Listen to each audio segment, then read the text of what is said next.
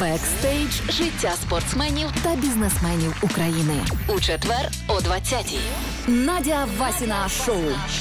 Мої гості це лідери, які змінюють країну. Вітаю усіх! З вами я Надя Васіна Шоу. Традиційно в цей час ми говоримо про спорт. Сьогодні це плавання, і мій гість це Дмитро Черкасов, майстер спорту міжнародного класу, чемпіон Австрії, Турції, Сербії, Франції. Людина, яка входить в топ-5 найліпших пловців світу 50 метрів брасом. Привіт тобі. Привіт, привіт. Слухай, ну і що, які відчуття? Ось я такий топ-5 найліпших. Да. І ну, що? И что? И ничего. Не, ну на самом деле, я... Это был 2013 год, я очень долго к этому шел, очень много работал над этим. Э, Полгода я работал просто как робот над, над, над своей дистанцией, я ее буквально знал с закрытыми глазами, там чуть ли не каждый бит сердца на протяжении этих 26 секунд. Э, Это было очень сложно, но в конце концов это дало плоды, ну, вот таким результатом, которым я горжусь. Слухай, а до речі, ти сказав таку цікаву річ, да, що ти вивчав ось усю цю дистанцію. Тобто, в принципі, е, усі дистанції вони однакові. Да? Ось 50 метрів вони по всьому світу однакові. Але все ж таки, коли ти приїжджаєш в той чи інакший басейн, все виглядає по-різному, правильно я розумію? Ну, смотри, э, на самом деле в каждой стране, особенно когда ты находишься там в, в, стор- в сторону, ближе в сторону в Азии или наоборот в сторону Европы, э, на самом деле э, вода совсем другая. То есть, э, к примеру, в Азии гораздо быстрее вода. Вот я даже, когда в Украине, на чемпионате Украины Ми про выступаю... басейн говоримо. Да, мы про бассейн, про воду, про жесткость воды. Ага. Она даже разная. Ну, то есть я так как спринтер, спринтер должен э, свою дистанцию закрытыми глазами знать. То есть мы больше работаем э, не на воде, а голов, ну, в голове прорабатываем эту дистанцию и, э, ясное дело, в зале. Вот. И очень много нужно думать, потому что если ты буквально там э, со старта что-то сделал не так, то все, пиши пропало. Почему? Потому что уже твои соперники на голову впереди, и они тебя обогнали. Поэтому твоя дистанция, она буквально, когда ты выходишь на старт, ты просто ее в голове прокручиваешь постоянно. Это настолько сложно. То есть, грубо говоря, спринт — это как хирургия в медицине. То есть это такой, я, я опять же говорю, это неплохо, когда ты занимаешься длинными дистанциями, но на длинной дистанции можно наверстать то, что ты упустил. А в спринте, ну, как бы нет. Слухай, ти дуже гарно так сказав, і я нагадав мені історію, коли в мене був льотчик, а, пілот, да, і він казав Денис Федотів, що найголовніші це перші секунди взльоту та посадки. Все решта це важливо, але найголо- найголовніше ось ця перша, там перші три секунди, коли літак тільки починає свій шлях. Да, на самом У деле... вас так же, да? Да, майже? на, са- на самом деле, э, вот по вот этой с- э, сирене, да, когда мы все прыгаем, когда идет уже сам старт, э, перед этим ты просто сжимаешься себя как пружина, да, вот держишь себя, напряжение просто бешеное. И потом, как только уже вот сигнал, все идет автоматом. То есть ты просто прорабатываешь перед, перед самой дистанцией в голове, как оно должно быть, и потом во время уже происходящего, во время заплыва, ты уже делаешь все на автомате. То есть работает, грубо говоря, твое подсознание. Давай тоді поговоримо про такі банальні речі. Да?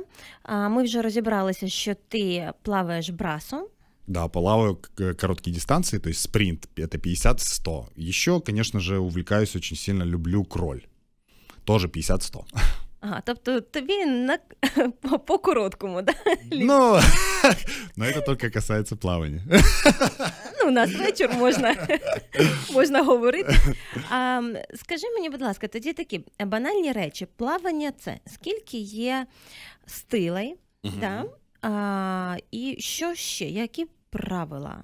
в плаванні? ну, ну, я розумію, що це, да. це дуже глобальне Это, таке конечно, питання. да, можно говорить э, часами на эту тему, но а, основные у нас стили это butterfly, ба- переводится как бабочка, ну, то есть ты порхаешь двумя руками. Я не буду рассказывать полностью всю А технику. чого тобі те- Да? Мне телеглядачі тебе показать, да? бачать, ти можеш В общем, так это трішечки. двумя руками, как бабочку делаешь. Затем у нас на спине. На спине это, ну, спина как кролем плыть, получ- поочередно ручками машем, и есть специфика в спине такая, что ты, грубо говоря, не видишь бассейна, то есть ты плывешь макушкой вперед.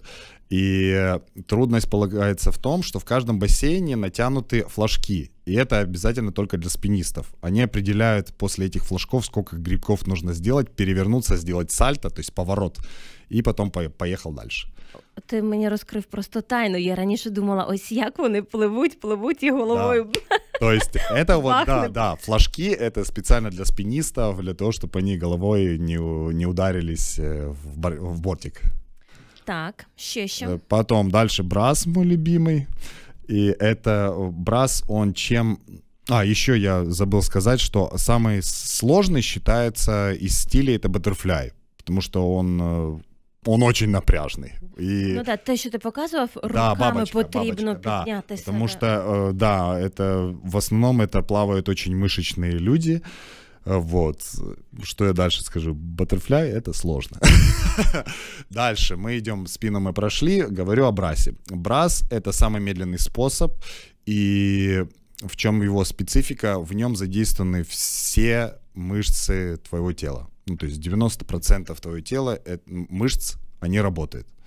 Э, и в чем полягается трудность этого браса? В том, что он, во-первых, самый трудный, ну, самый медленный, то есть, и очень важно э, акцентировать внимание на гидродинамику твою. То есть, чем лучше твоя гидродинамика в технике, тем меньше ты тормозишь и быстрее розганяєшся. Ага, брасом того, що зараз телеглядачі можуть бачити, да. а радіослухачі да, як подивитися в інтернеті. Як жабка. Як жабка, головою пірнаєш воду, венерюєш, вдихаєш. Да. Ну, это тот же баттерфляй. На самом деле баттерфляй и брас э, в начальные годы, когда создавалось вообще плавание, плавали брасы и баттерфляй, это было одно и то же. Только ногами делали лягушку, а руками вот этот как баттерфляй. То есть это был смежный способ. Потом его разделили. Зрозуміло. Ну давай, якщо трішечки ще про а, ну, правил. И, да, да, еще да. последний же стиль а, у нас. Выбач. Это самый быстрый, это вольный стиль. Это кроль. Это руками вперед. То есть как на спине, только ты уже на груди плывешь. Это самый быстрый способ. Это особенно 100 вольный стиль считается самая королевская дистанция в плавании. Да, это, это ну, им плавают самые сильные, скажу так, самые быстрые люди. Ага, цікаво. Да. Слухай, а якось обирають да, стиль плавання? Дивляться там на дитину, на спортсмена і розуміють, ага, в нього ось такі таланти, ось такі м'язи в нього більш розвинуті, да, і він е, не полюбляє короткі дистанції, він любить так гей, щоб плисти, так плисти. Конечно, да, да физиология очень важна в спорте. К примеру, вот красный, по мышцам. Если у, у человека больше крас, красных волокон, он спринтер. Если у него больше белых, то он больше стайер. Стайер, ну, стайер это длинные дистанции, спринтер это Ми про м'язи говоримо, волокна білі, червоні. Да, но это в мышцах есть, в каждом человеке есть мышца, так ведь? Ну, вот. Мышцы делятся на красные волокна и белые волокна. Белые волокна, они более выносливые. Красные волокна — это более такие взрывные, скажем так. А, цікаво, бачиш, да, я не то есть есть у каждого человека своя предрасположенность.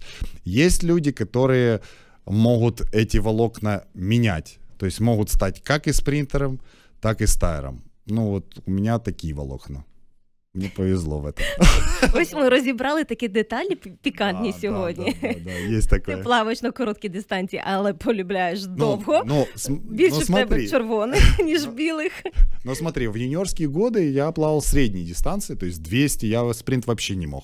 Ну, то есть спринтерские вот эти короткие дистанции, они в основном приходят с возрастом. Ну, то есть когда уже ты становишься больше мужчиной, ну, то есть когда ты уже привык к своему росту, вот, тебе легче Ну, сформувався. Да, вже, да, да, когда и... ты сформировался, тогда уже и адаптируешься к спринту. А до этого, ну, просто пливеш і не устаєш.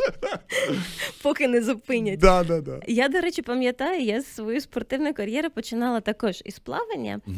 І я пам'ятаю, коли мама мене провела в басейн, а тоді ну, мало було вибору, там 90 якийсь там п'ятий рік, да?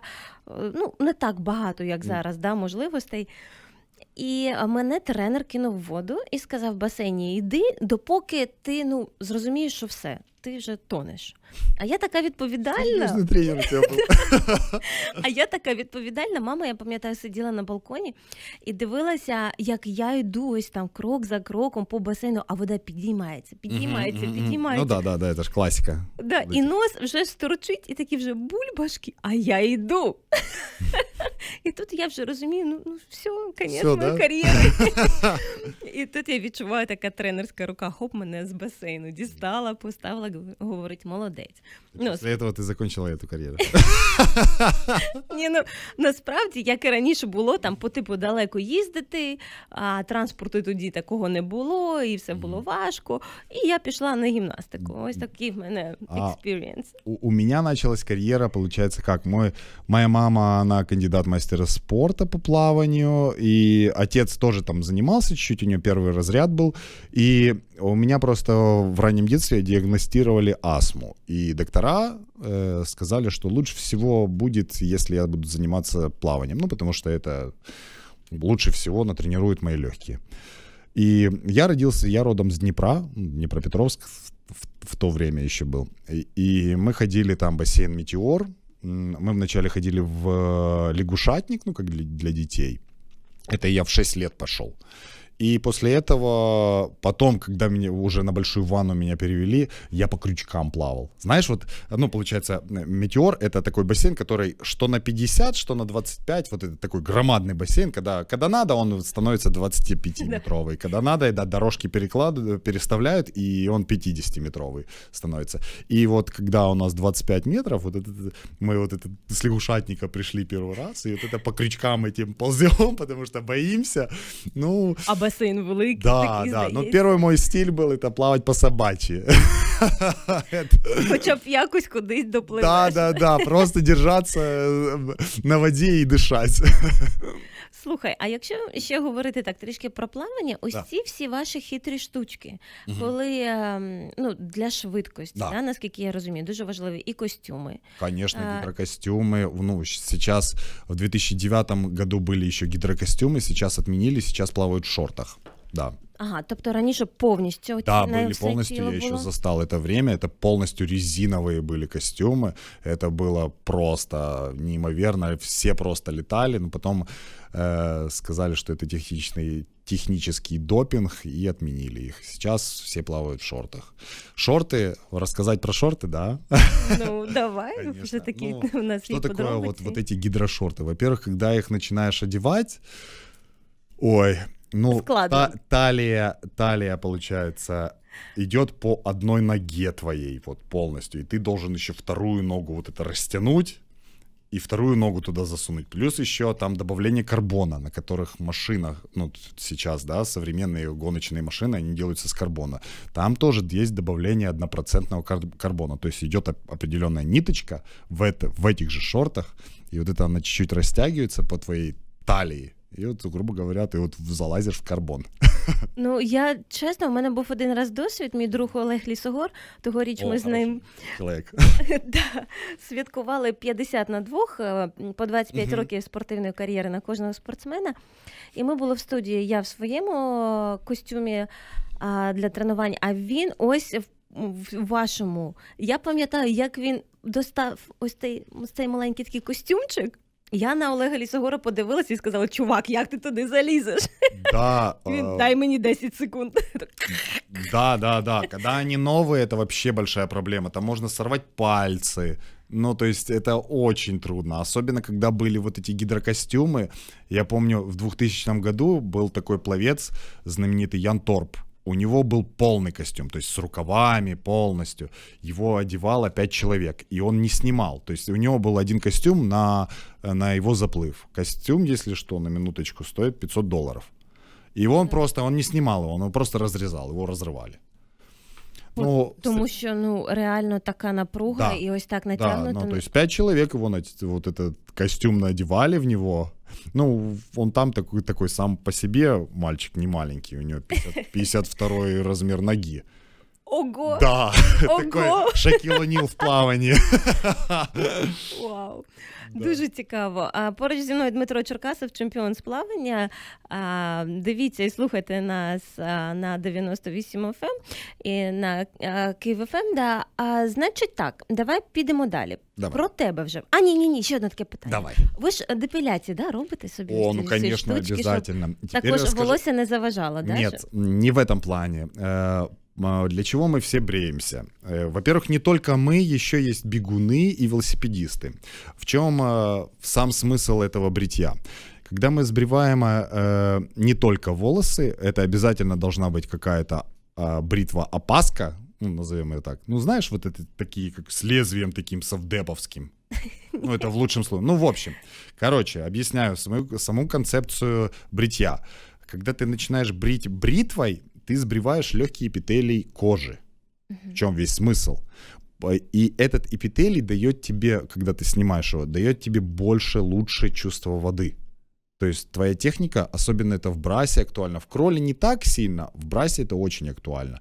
И ты начинаешь, твоя техника преображается, ты начинаешь чуть ли не кайфовать от того, что ты плывешь. То есть Прикольно. в этом и есть весь смысл. То есть не с- Легкість така, да? Легкость, да. Окей. Появляется легкость. Единственное, конечно, после двух дней э, начинаются вот эти раздражения. Потом ты, когда ложишься в кровати, это все чешется, это ужасно просто.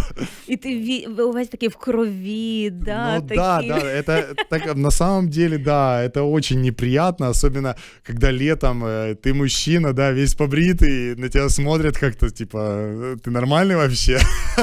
А, да, Ну все да. нормально. Да, да, да, все нормально, да. Но, но это очень много прибавляет, и очень много говорят, что вот в среднем на, на 100 метров это убирает э, секунду. Вау, ну нереально, да? Это много, это много, да, в плавании. Прикольно. Гаразд, давай про тебе поговоримо. Ти наш український а, спортсмен, Там. але в якісь то моменти переїхав виступати за Туреччину в Да. турецький клуб.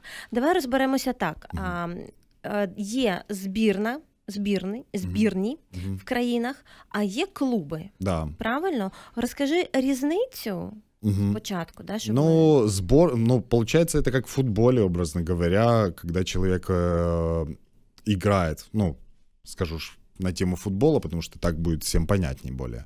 Э, Когда человек в клубе, он может играть за любую страну. А когда ты за страну, ты только за свою родину, ну, грубо говоря, играешь. А у меня получилось... э, Я ни в коем случае не искал легкой наживы изначально. Э, Когда я стал вторым на Европе э, за Украину, ну, скажем так, в сборной на то время я был как кость в горле. Почему? Потому что на то время мной занимался мой отец, а он до этого был совсем не тренер. Он занимался бизнесом, и потом мы вместе решили, чтобы он стал моим тренером. И когда я выиграл по юниорам, э, многих тренеров, видимо, это очень сильно бесило, особенно главных.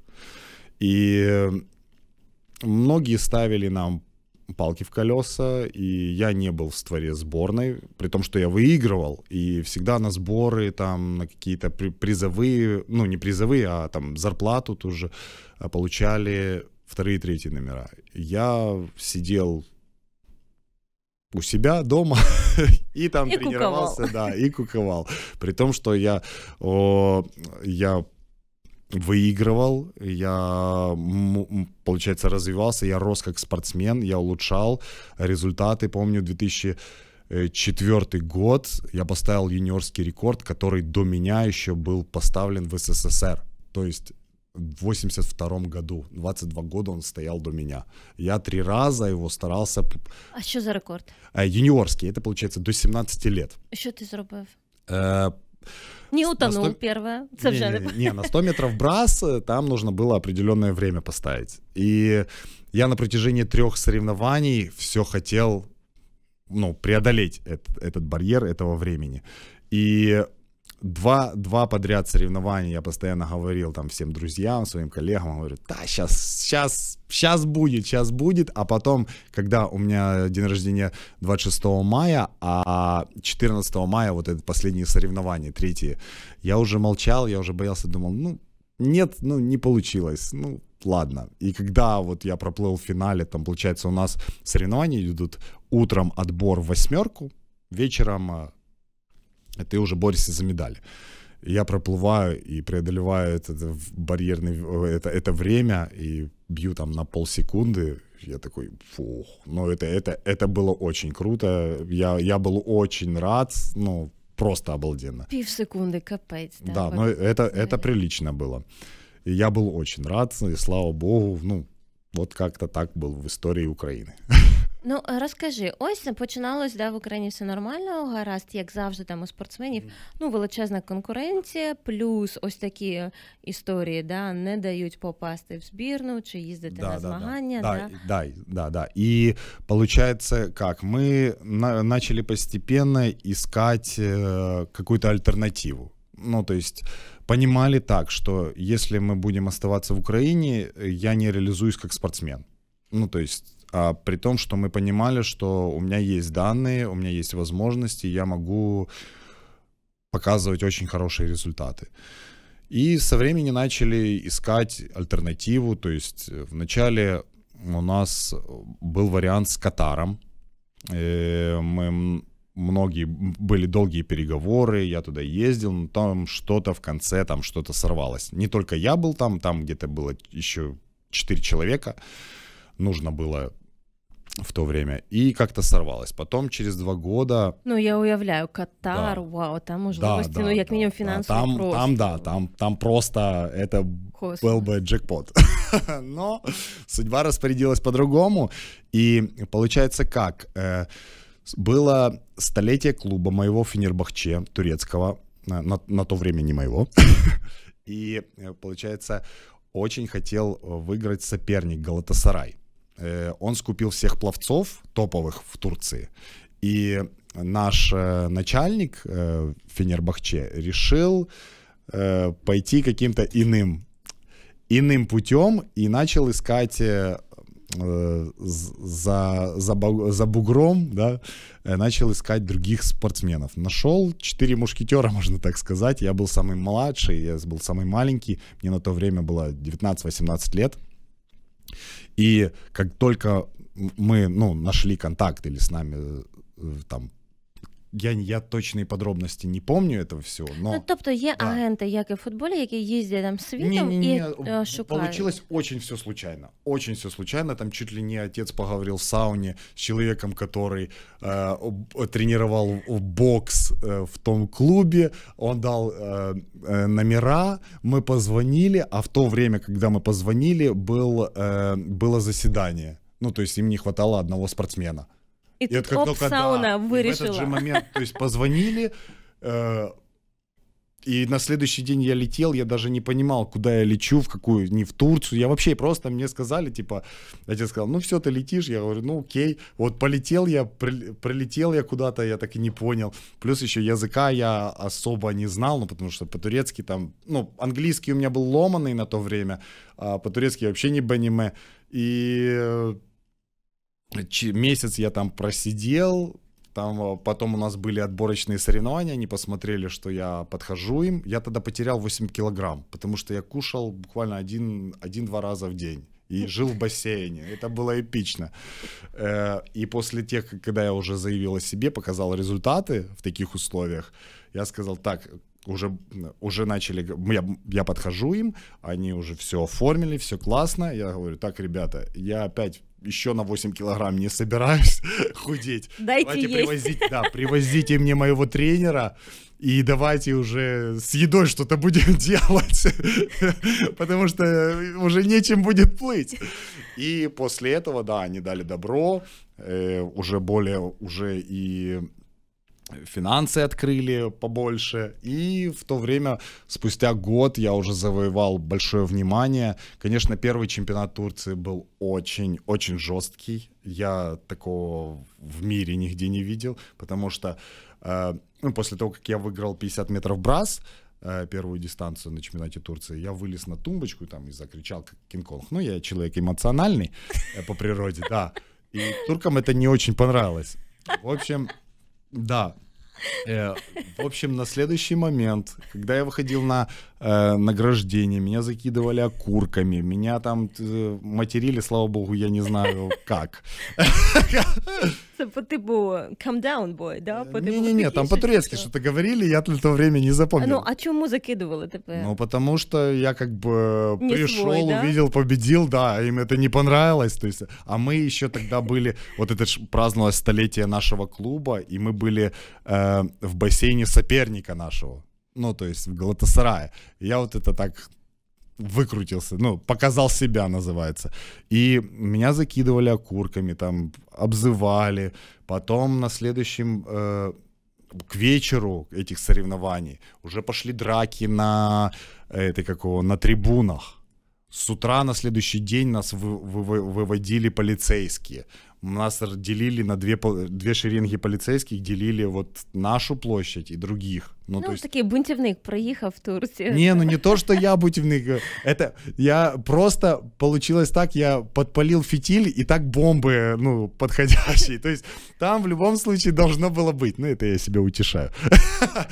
Но это было очень страшно, на самом деле, первые вот эти первые соревнования, когда, ну, ты видишь полицейские, там кричат, дерутся вот это вверху. Я думаю, я себя почувствовал, как будто я на дерби какого-то футбольного матча, а не плавания. Ну, это было очень классно. Ну да, якщо б в хокеї таке було, то воно нормально, Да. да, по типу. Да, да, и, и я это запомнил на всю жизнь. После этого, честно говоря, другие соревнования какие-то спокойные и скучные стали.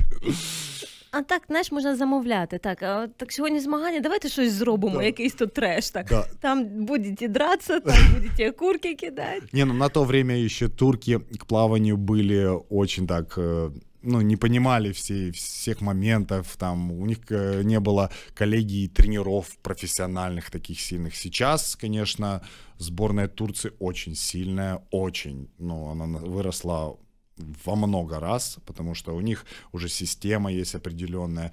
У них до там, в 2016 году главный тренер у них был Майкла Фелпса. Ну, ты слышала Ну, Майкл о Фелпс таком, да, это легенда лідерів. плавания, да. У них был главным тренером сборной Майкла Фелпса Боб Бауман. Ну, то есть денег было вложено немерено, очень много. И после этого... Знов таки, вибач, ми говоримо про частні клуби, правильно? Ми не про И збірні. про, щас про говоримо. все. Сейчас А. мы уже говорим про, про все. Потому что, ну как, у нас чемпионат... Ну, чемпионат Турции, в чем система разная Украины и Турции. То есть в Украине ты, когда главные соревнования, ты борешься на результат для того, чтобы сборная тебя взяла и, ну, с- там норматив сборной выполняешь и получаешь зарплату. В Турции немножко другая система. Там система клубная. То есть, образно говоря, если ты даже выигрываешь там, а за эстафету там не ты, а другой кто-то там плохо плохо, плохо проплыл, вы проиграли, там, Галатасарай, ну, другому какому-то клубу, вы на втором месте, все, всем обрезается зарплата, ну, то есть, и, и- а если еще ты плохо проплыл и этот клуб проиграл, ну, ты отдыхаешь до следующего года. Ого, Да, все гораздо жестче, чем у нас. ого.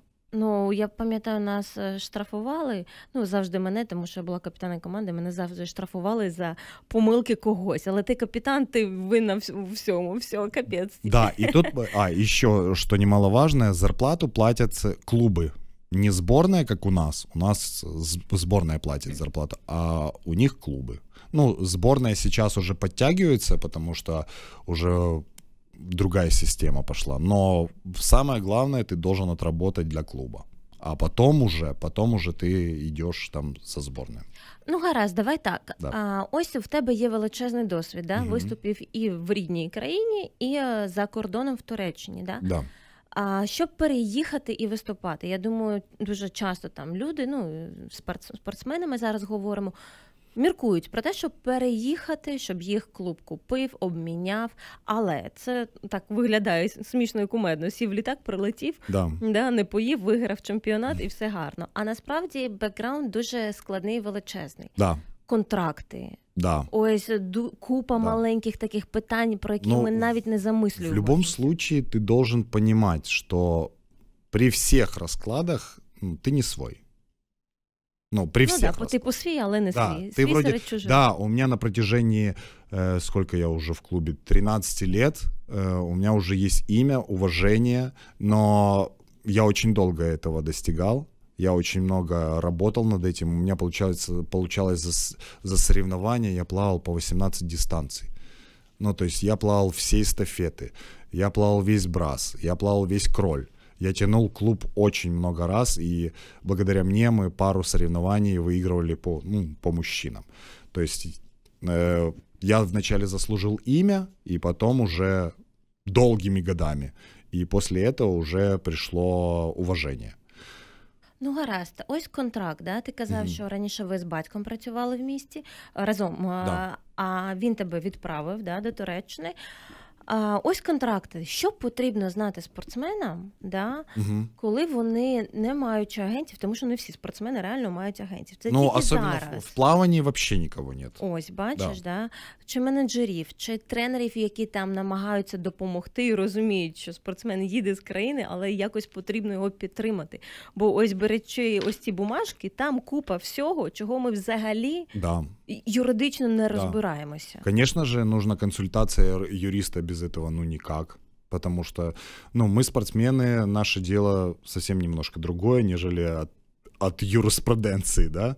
И э, обязательно нужно обратиться к профессионалу до того, как ты под- по- подпишешь контракт. Иначе, ну, потом ты не, не, не, в забор, не в плюсе будешь, да, а будешь очень много должен тому клубу, в который ты перешел. И, грубо говоря, для чего ты это делал, потом нужно задумываться.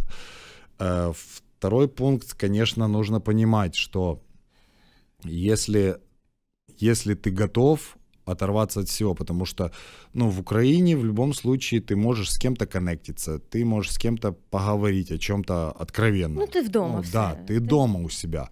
В тур, ну, в за границей, если ты начнешь э, кому-то доверять, то тебя могут подставить те люди, которым ты доверял, потому что, ну, это немного другой мир. Ну Вот. да, ти, ти, назову. ти не Да. свій, там Ты не свой. купа, в любом а тут- случае, ты не свой, и э, в любом случае есть свои такие громадные нюансы, и ты должен понимать, что либо ты будешь пахать как мерин, ну, то есть просто понимать, что ты приехал туда пахать, работать и улучшать себя. И для чего? Ну, конечно же, видеть цель. И никогда не сбрасывать обороты. Ну, вот что я могу посоветовать тому человеку, который решился переехать там в другой клуб и либо страну.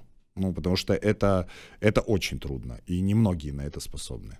Ну, я пам'ятаю, як я тобі вже говорила да, до ефіру, коли мені запропонували поїхати до Ізраїлю виступати, була ну, величезна кількість питань, і одне з них було таке, що усі дівчата в Ізраїлі ходять в армію. Я Да, пам'ятаю я моїх да, подружок, які приїжджали з Ізраїлю виступати на змагання, а вони тільки що поклали автомат да, і бронік з каскою. І вони такі кремезні, такі дівчатка, знаєш, Да. м'ячик взяли, гопа, як пульнули. Да, даже так.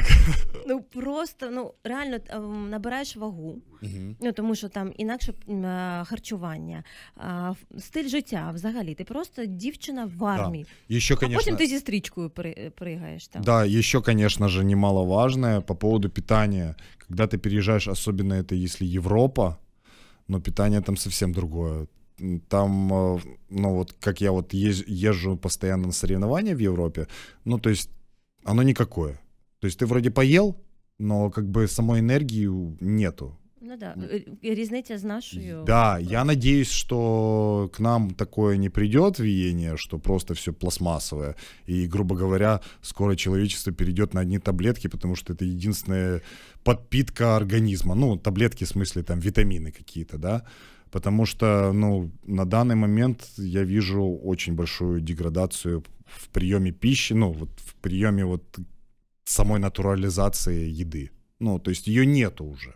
Вот у нас, когда я приезжаю, помню, с соревнований сюда домой, боже мой, ну это ж, это ж совсем другое дело. Ты покушал, ты чувствуешь прилив этой энергии. А там, ну, просто поел, чтобы не чувствовать голода. Все, не более. ну и запил водичкой. Все. Ну, в Європі е, винцем, винцем пляшку якусь. Ну, вино, да. Ну, такое. То есть я как бы вижу только одно. Ну, не, не очень хорошие направления, скажем так. А Дмитро Черкасов, чемпіон з плавання поруч зі мною зараз в студії. Е, Хтось може бачити його на телеекранах, а хтось на радіо чути. Слухай, скажи мені таку річ: ти змінив ім'я. Тебе звуть Дмитро Черкасов, але так як ти виступаєш за турецький клуб, ти Демир Атасой. Но это не я э, поменял э, это имя, это не моя была, скажем так, э, инициатива, да. Э, получается как, когда нас брал вот главный там на то время в клубе, он подошел ко мне и сказал, ну это был далекий 2007-2006 год. Он подошел ко мне и говорит, хочешь другое имя? Я такой подумал, да не, вроде не надо. Он говорит, ну, может, подберешь какой-то? Я говорю, подумал, ну, давай Майкл Джексон. ну, буде круто звучати. Почему? Ну, на то, Майкл, на то время Майкл Джексон еще был живой. Ну, да. И он такой, да не, ты Да будешь Демиром Атасой. Майкл Джексон вже зайнято. да? Да-да-да. И а, как переводится мое имя? Демир — это железный, а Атасой — это отец рода. Вот. Каждое имя в Турции, оно имеет свое значение. То есть оно переводится. Ну, нормально в тебе таке. Да, я когда перевел, думаю, «М, ничего так. Ну, правда, у меня права выбора не было особо. Ну, для чого це? Це умови контракту, тому що тобі потрібно паспорт було отримувати. Не-не, это просто для того, чтобы людям было легче меня выговаривать. Вот все. Ну, то есть, А. типа, как бы свой. Ну да.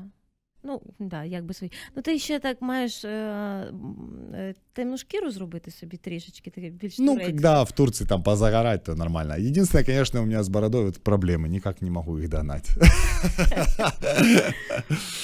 Слухай, тоді йдемо далі. А, яка а, конкуренція, якщо подивитися на турецьку сторону, да, ти виступаєш за турецький клуб, і на українську, де а, як, в якій країні плавання на більш великому рівні? Ну, сейчас, вот сейчас, на данный момент, в Турция гораздо сильнее. Потому что очень много э, было, опять же, задействовано и финансовой стороны. Очень много людей ездило в Америку, я по поводу тренеров, развивалась, так как ну, знала, узнавала новые методики. И в конце концов это дало о себе знать. Сейчас чемпионат Турции по результатам, вот я смотрю, на голову выше, чем украинский. Хотя в 2000, взять 2007 там, до даже две- до 2015 года Украина была сильнее. Ну да, е, взагалі в Україні зараз тренд там розвивати спортсменів. Не, но, спортсменів. но сейчас, в Ук- вот, к примеру, взять украинское плавание, сейчас э, й- э, на то время не было таких возможностей, как сейчас. То есть в Украине, если ты эм, перспективный пловец, э, который занимаешь, ясное дело, первые, вторые места, и твой результат в рейтинге там в хорошем каком-то рейтинге, и ты даешь большие очки, то тебя замечает клуб э, там под названием Energy Standard. Это вроде его создал там украинский какой-то, ну, как Бизнесмен. бизнес, да, украинский бизнесмен, э, и и он э, подбирает себе команду сильную, и там ну, хорошие деньги можно зарабатывать. Но если ты будешь, конечно, где- работать. Еще добавилось вот буквально два года как новые игры, называется ISL, э, International Swimming League. То есть это новый уровень вообще плавания. Там а, люди зарабатывают деньги приличные. Вот, э, к примеру, скажу, вот человек, э, сейчас, сейчас как американец Дрессел, он там поставил три мировых рекорда, и ну, он выиграл по общему зачету среди мужчин и заработал 300 тысяч долларов. Это очень неплохие деньги, как мне кажется. Ну да. Да, поэтому, то есть на, на сейчас, на наше время уже возможностей гораздо больше, нежели было в мое время. Дуже цікаво. Ну, да. Я так дивлюся, і е, іноді, коли слухаю наших спортсменів, у гарному сенсі заздрю, тому що я бачу, як ну, по світу та і в Україні да, розвивається, і степ бай степ це вже не був той спорт, коли це просто фізичні вправи заради вправ і перемог, а це вже розвиток да. глобальний йде. Здесь, э, ну, сейчас нам в это время уже скачок совсем другой. Сейчас можно и зарабатывать спортом большие деньги. Э, опять же, повторюсь. Но вот этот ASL, это, грубо говоря, как НБА в баскетболе. Ну, то есть это абсолютно новый уровень. Э, люди просто грызутся между собой. Там, там просто бойня настоящая. Ну, я, я, я не видел таких э, вот соревнований, с которыми можно сравнить ASL. Это очень сильные соревнования. Все готовятся. То есть вот даже в ASL я, есть наши украинские пловцы тоже. Романчук, Зевина, Э, Шевцов, ну, то есть много наших пловцов, которые там находятся, которых взяли. І це очень класно. Ну, наскільки я розумію, це більше вже як шоу зробили. Формат да. змагання шоу, да. щоб для глядачів також це було. Да, эти соревнования, как мне кажется, это больше шоу, но в то же время это для пловца очень неплохой заработок. Ось е, ми зараз бачимо тебе, і телеглядачі бачать, як ти стоїш на п'єдесталі, да. тільки що з медалями був. Ось твої відчуття, коли ти дивишся, що ти тримаєш медаль, але прапор не рідний по крові. Ну, скажем так, это был мой 2017 год. У меня 2017 год вообще был очень интересный, когда я снимался в шоу, да, и после съемок, когда уже, грубо говоря, на пике популярности, я должен был там скажем так, кушать эту популярность, э, там, плавать в ней.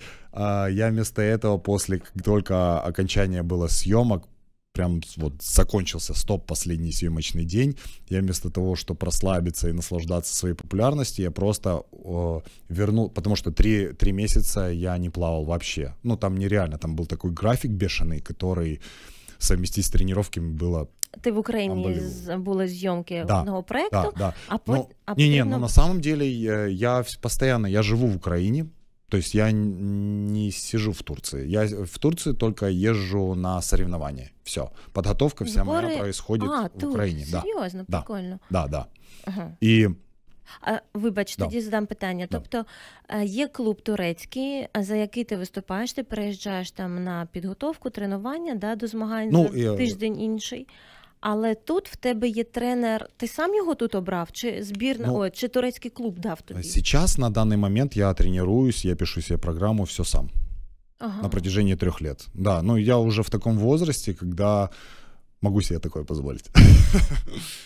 Вот, и еще что, э, что могу сказать. Эм, так, на чем мы остановились? Про тренування а. і про те, що ти не плавав три місяці, і а, да, да, да, зйомки да, були. Да.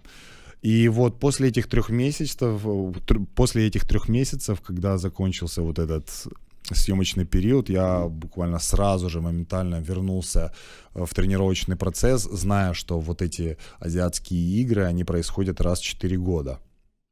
И, ну, это очень, скажем так, ну, да, классные, Олимпиада. престижные, престижные, да, престижные э, соревнования. Я уже выиграл в 2013 году их, и в 2017 это как бы было очень так прикольно бы. Но на самом деле я туда ехал, я понимал, думал о том, что, ну, хотя бы в тройку попасть, я понимал, что три месяца разрыва это как бы будет сложно, а подготовка у меня, опять же, тоже три месяца до отбора было. И я думал, блин, надо хотя бы в тройку. И начал пахать. Я, я работал просто, опять же, не покладая рук. Я, в голове у меня только были одни тренировки. Ну, то есть я полностью погрузился, от, отбрил вот эти моменты со славой, вот это, э, как его, Ну, та зіркова хвороба, ось ця, да? Ну, ну не только, да, да, да. Популярность, все такое, я это отбрил и сразу просто вернулся в тренировочный процесс. И после того, как я в начале в апреле я там поставил рекорд Турции, я понял, ничего так неплохо. а после этого уже в мае были вот эти азиатские игры, и я там взял три золота. Ну и на самом деле первое золото, которое я занял, там на 50 метров брас, но меня настолько переполняло вот чувство счастья, ну, у меня такой в жизни никогда не было. Я как будто был окрылен. У меня такого, такой эйфории вот на пьедестале в жизни никогда не было. Вот честно, я, я такого не ощущал никогда. Ну, конечно же, после этого, когда уже родился сын, Тогда точно такая же была эйфория. Но вот первое, вот это прям как чувство какого-то наркотика, ну, в хорошем плане. И я стоял и думал, как? Вот у меня сезон там съемочный, тут я еще это, это выиграл, думаю, ёшкин кот, вот это я молодец, знаешь, знаешь, как Пушкин, ай да, ай да, молодец я, ну то есть меня чувство вот вот этой окрыленности не покидало. Это были самые такие запоминающиеся мои соревнования в моей жизни. Ну, ти відійшов від питання, від відповіді, то відповідай, як тобі, е, дивлячись на те, що ти виступаєш за прапор іншої країни, але ти громадянин, ну, по своєму ну, природі. Ти да, ну скажем так, э, не, не Україну... маєш такої шкоди, да. по типу я ж там міг Україну да. прослав... Ну, скажем так, я о, в Україні я нахожусь, я живу, я люблю ее, но меня вырастил клуб турецкий как спортсмена. Я ему очень сильно благодарен. То есть э, Бизнес и ничего зайвого. Не-не-не, тут, тут не, не, немножко по-другому, потому что они ко мне по-другому относились. То есть со временем я не делю эти две страны. Каждая страна дала мне свое. Украина мне дала рождение, любовь, ну, к земле, да, и я люблю ее. Но Турция мне дала созреть как личность в плавании. И это я тоже не могу это разделять. То есть Турцію я люблю по-своєму, Україну я люблю по-своєму. Тоді давай декілька порад. Угу. Ось на сьогоднішній день, як ми вже багато разів говорили, спорт розвивається, плавання також, і частних клубів багато, і державні басейни, да, басейни відкриваються. Що ти порадиш батькам та дітям, ось молодим спортсменам? Ну, поначалу, конечно же, не э, скажем так, не прям нырять в работу с головой. Почему? Потому что очень быстро надоест, да. А затем, когда, когда вот родителям могу сказать только одно, когда вы увидели, что у ребенка талант, во-первых, не сгубите его, никогда не перегибайте, ну, в плане там, ты должен, ты должен, а наоборот, направляйте его, говорите, что это классно, то есть вдохновляйте его, это самое важное. Э, затем нельзя, вот, к примеру, вот у меня отец в этом плане, он, я очень ему признателен за то, что э, вот по началу тренировок, ну, спринт это ж не только плавание, да, еще зал немаловажную историю имеет. И когда мы, когда я, когда он мне говорил, нужно пробежать вот это время, ну, там столько-то километров, потому что, ну, там по ступенькам, для того, чтобы дыхалку прокачать, ну, это для плавания тоже очень важно, ну, ты понимаешь. И он со мной бегал, при том, что он весил там на то время 120 килограмм, он там похудел до 95 со мной, ну, то есть он показывал, что на своем он прикладе. Не тол- да, он не только там, грубо говоря, кричал на меня, да, типа, ты не работаешь. Он показывал еще свой пример. Вот что мне кажется для родителей очень важно – не надо вот рассказывать, там, к примеру, да, если на соревнованиях что-то у ребенка не получилось. Если ты хочешь что-то исправить, покажи на своем примере, что ты можешь. Вот, и тогда ребенок вдохновится, и он по, увидит тебя и увидит, как ты ради него выкладываешься. Потому что сейчас, мне, как мне кажется, современность только такая. Сдал кому-то, отдал, все. Ну, типа, кто-то там что-то должен. Я заплатил деньги. Ну, это, как по мне, это немножко неправильно. Кроме еще того, что ты заплатил деньги, кроме того, что тебе этого ребенка тренируют, ты должен часть себя отдать, потому что это, свои, это твои дети. И ты им должен показать пример і вдохновити їх, щоб вони стали лучше, ніж ти.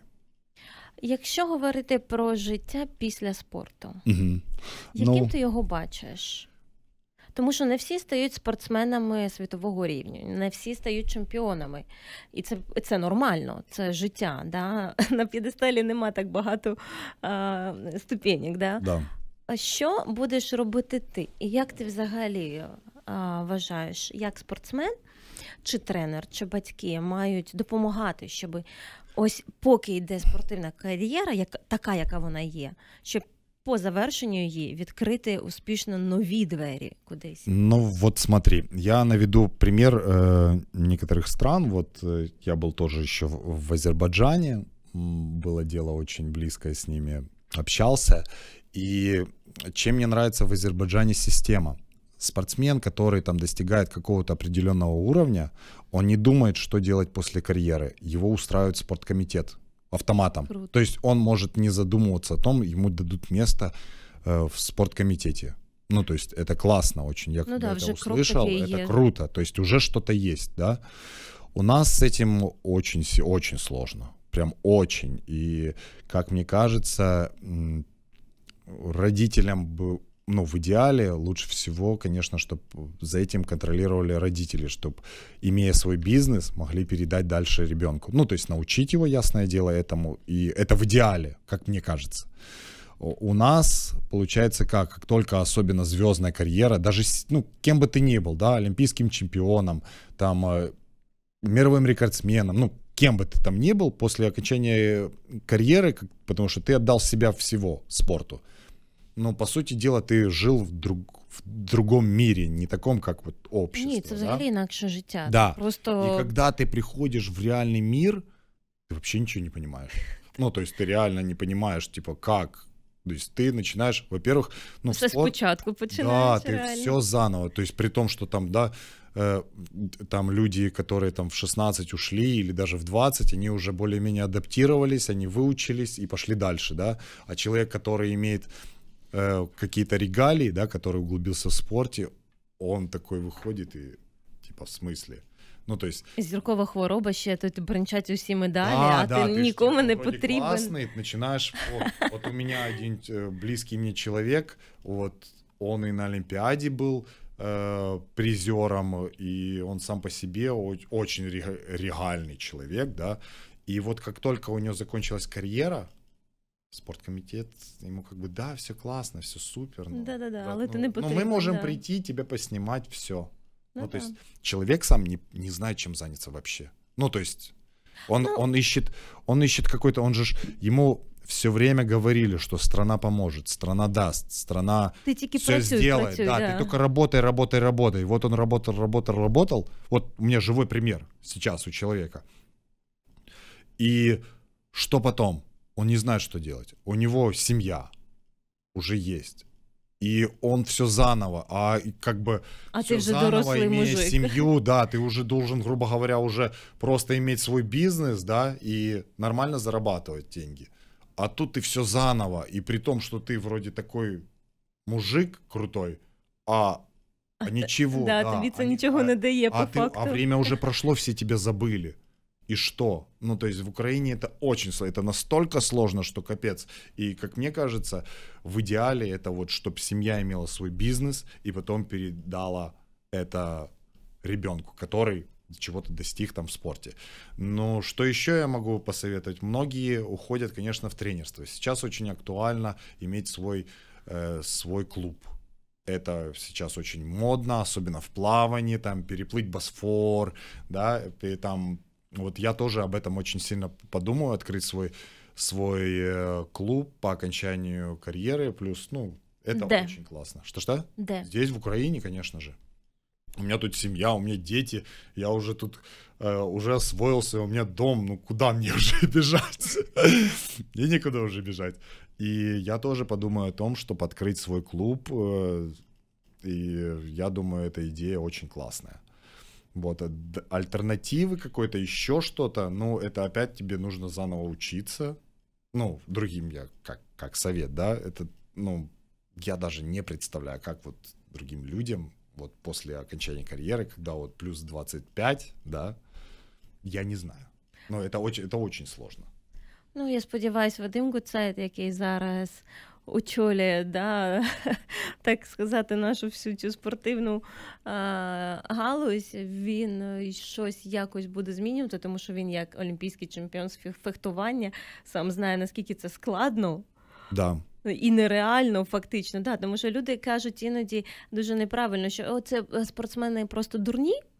Не, І ну, тому, тому вони нічого не можуть. Але ніхто не розуміє, що а, спортсмени працюють мозком в одному напрямку, да. айтішники в іншому. Ну да, творчі это люди просто, в грубо іншому. Це говоря, айтишника повести куда-то там, в- опять же, повторюсь, Плавание, да. или в плавание, да, и потом, ха, а что ты такой дурень, да? Ну Ну, да, ну, да, это да. же тоже будет, это будет смешно. Ну, то есть каждый человек запрограммирован на свое. Кто-то там может красиво говорить, кто-то вот умеет выкладываться на дорожке, и он обдумает, потому что если у тебя нету головы, если ты не продумаешь свою дистанцию, любую, будь то спринт, будь то дальний, или даже в тренировках не заставишь, потому что у любого человека во время тренировочного периода опускаются руки.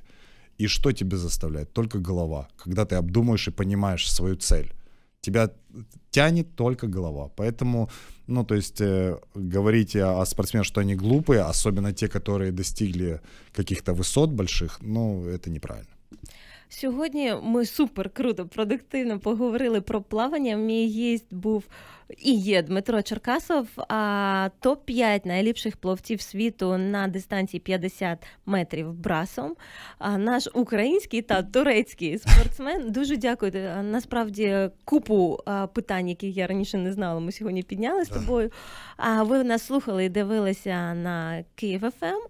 Почуємося вже за тиждень. З вами була я Надя Васіна Шоу. Займайтеся спортом, будьте здорові.